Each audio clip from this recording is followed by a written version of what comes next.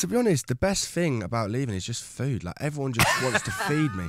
Wherever I go, everyone's like, look, look, look here. I've just got food in front of me. Wherever I go, people are like, you must be hungry. Here, have some food. Owen Warner is here. Morning. How are you, mate? You all right? Um, you, um, how are you?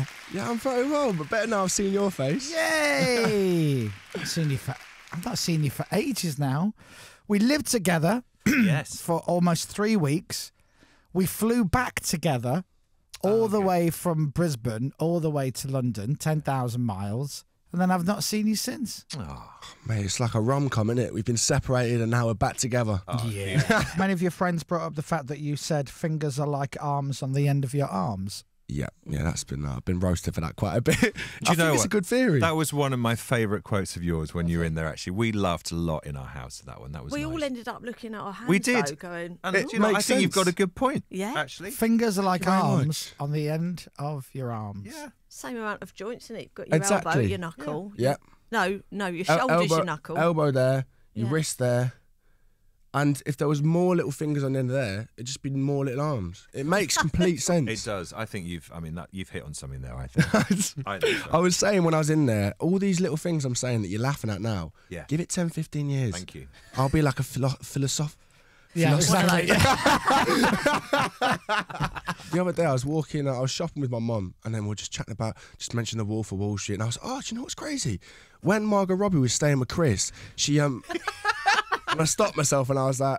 No, that's a yeah. me on there. I, was like, I stopped myself like that, and I was like, mate, as if he's still like Yeah. weeks on from the jungle. I'm still Yeah, falling that, for him. That one wasn't true. We didn't hear that one. What was that? Oh, Ma- Margot Robbie and I were flatmates for a while. Were you I now? didn't know. Yeah, we've got you. Uh, we got you a gift, a little present. oh no way! I love presents, There you are. and it's got a knife and fork on top of it. It's Oh. the That's right. best your kind favorite, of present. the best kind of present for you. Gonna treat me with it, Oh, What is it?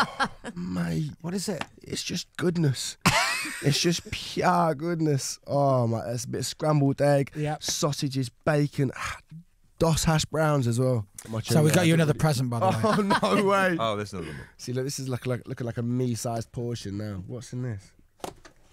Oh, what are these eggs? Are they like? I don't know. Oh, just eggs from the Oh, canteen. It's eggs. Oh, is it just eggs? Weird. I think they, yeah, I think they they're un- unboiled eggs. oh, What?